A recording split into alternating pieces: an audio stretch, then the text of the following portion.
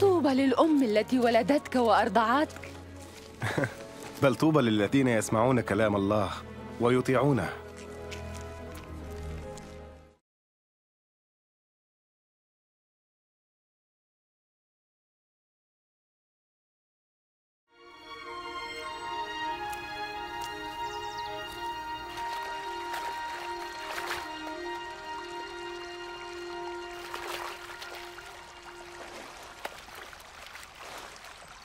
علمنا كيف نصلي كما علم يوحنا تلاميذه.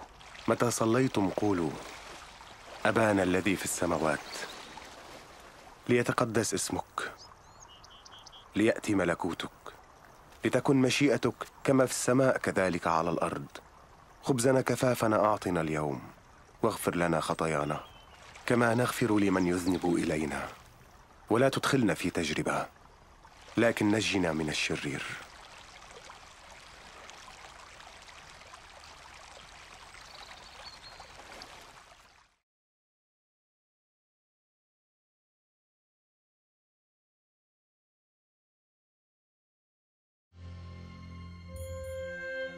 في الكتاب المقدس يعلن الله أن المسيح سيأتي ليكون مخلص هذا العالم. وحياة يسوع تقدم لنا الدلائل على أنه كان حقا من تحدث عنه الأنبياء فاشعياء تنبا بأن العذراء ستحبل وستلد ابنا. وبعد قرون كانت ولادة يسوع تحقيقا لهذه النبوة.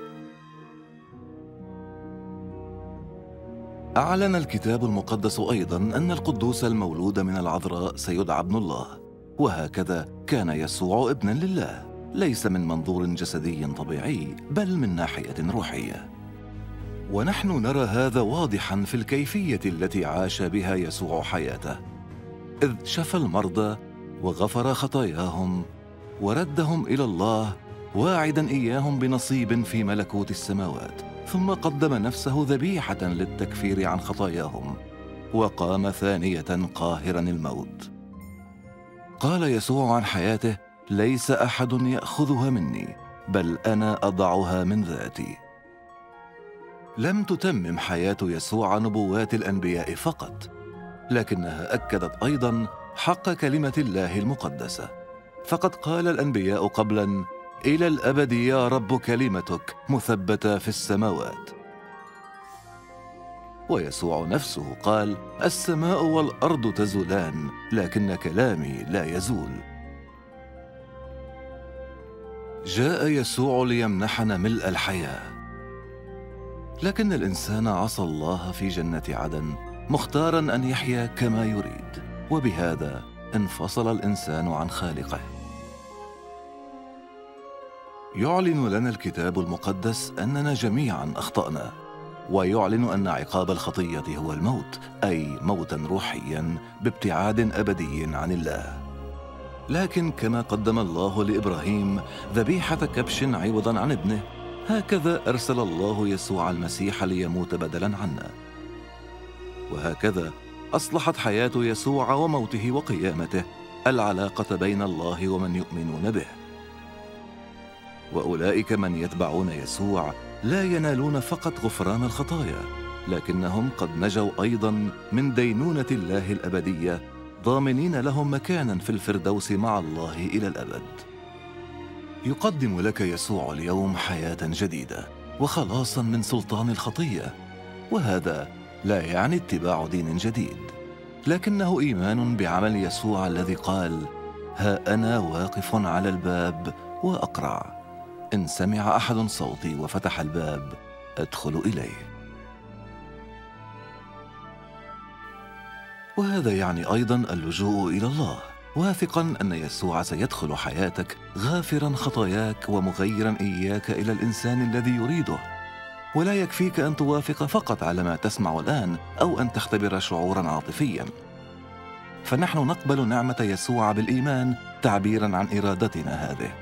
وحين تكون على استعداد لاتباع يسوع المسيح فيمكنك عندها أن تخاطبه شخصيا من خلال صلاة بسيطة.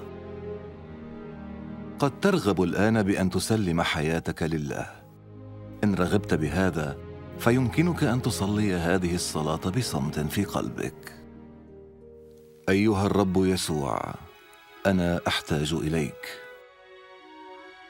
أشكرك لأنك مت على الصليب لأجل خطاياي. أعترف الآن بخطاياي وأتوب عنها. أنا أفتح الآن باب قلبي وأقبلك مخلصا وربا.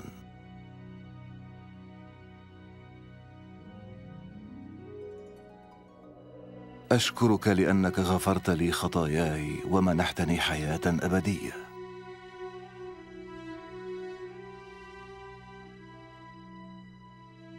اجعلني ذلك الإنسان الذي تريدني أن اكونه بينما أصبح واحدا من أتباعك. آمين.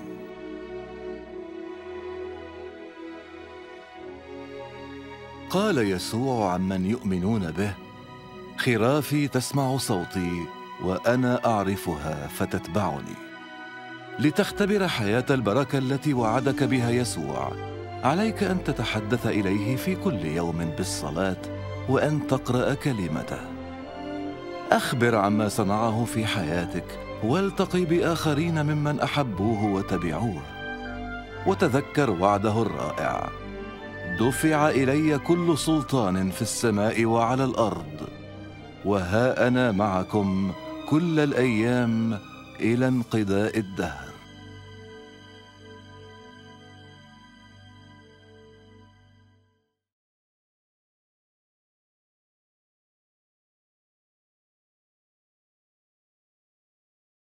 당신이 필요합니다. 당신을 낳아쳐줄 묵은 여자는 얼마나 행복하겠습니까? 오히려 하나님의 말씀을 듣고 지키는 사람들이 더 행복하니라.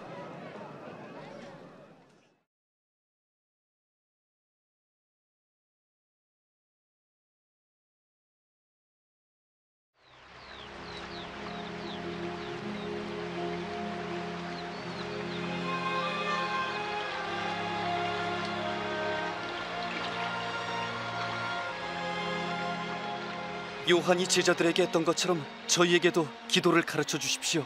너희는 기도할 때 이렇게 하라.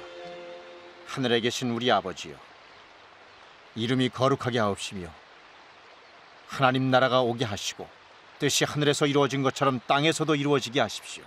우리에게 필요한 식량을 주시고 우리가 우리에게 잘못한 사람을 용서하오니 우리 죄를 용서하여 주시고 우리를 유혹에 빠지지 않게 하시고 나쁜 길에서 구원해 주십시오.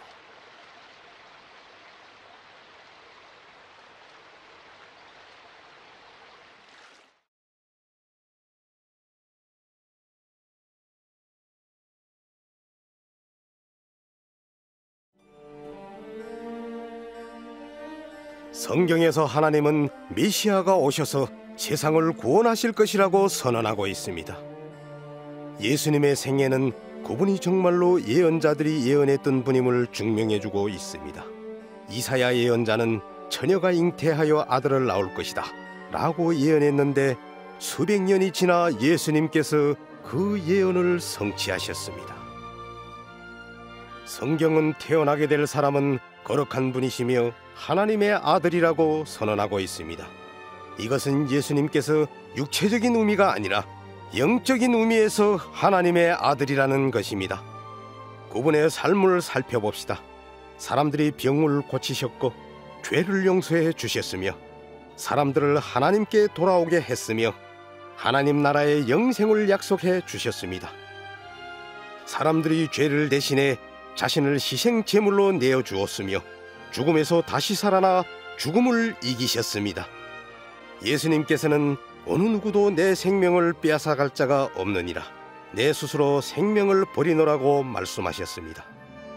예수님의 삶은 예언자들이 예언을 성취했을 뿐만 아니라 하나님의 성경 말씀이 진리임을 증명하고 있습니다.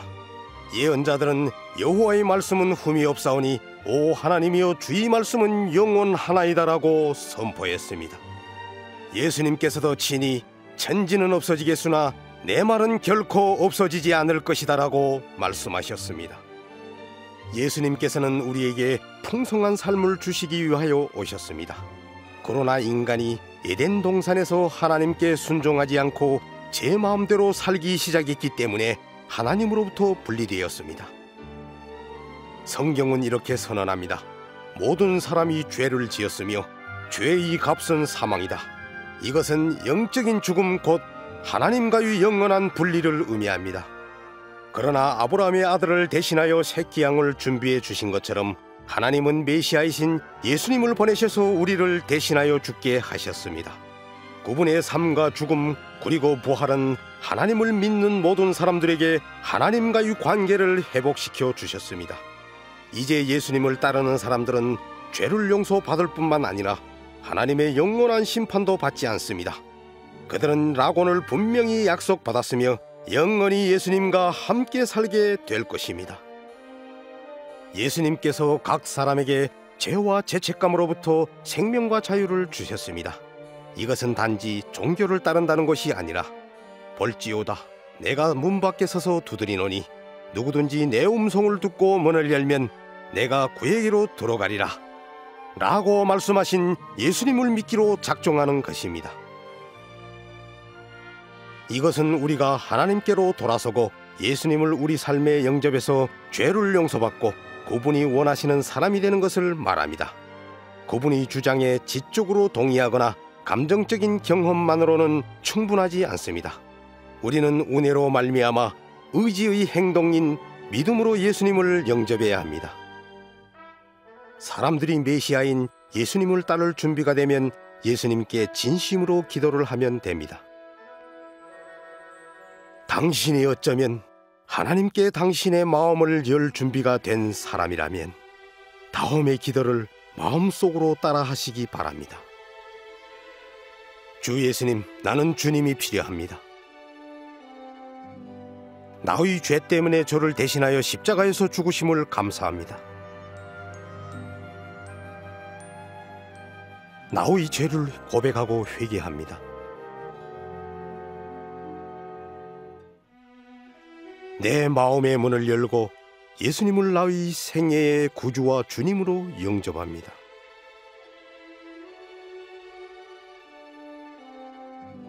나의 죄를 용서해 주시고 영생을 주신 것을 감사합니다.